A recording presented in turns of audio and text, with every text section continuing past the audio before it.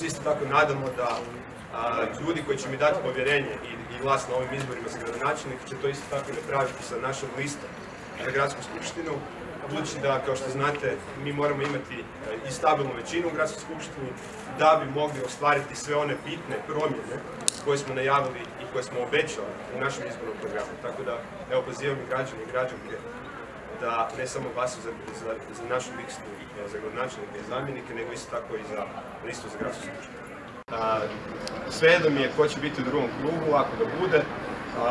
ja, ja sam uvjeren da, da, da, da ću stvariti najbolji rezultat u prvom krugu i da ću pobijediti u drugom krugu bilo koji kandidat ili kandidatkinju, što u osnovu pokazuju i ankete, ali ne samo ankete, nego je, nego je reakcija ljudi uvijek na ulici fenomenalna.